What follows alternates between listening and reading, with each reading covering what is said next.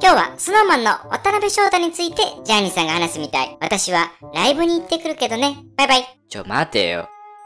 ちょっとゆたちに話を聞いてほしいんだけど、いいよー。スノーマンの渡辺翔太っているじゃない？美容オタクで自分大好きの渡辺のこと？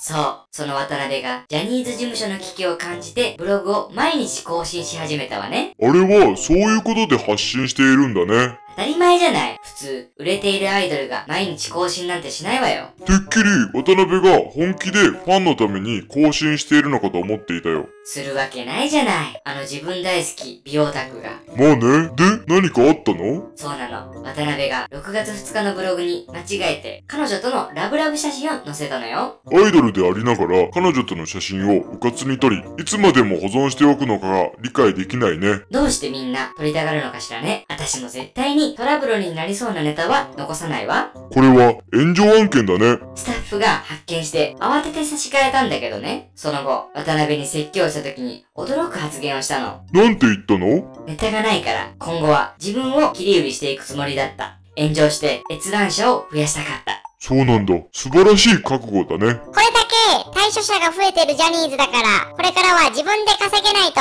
ダメだと思ったんだよ。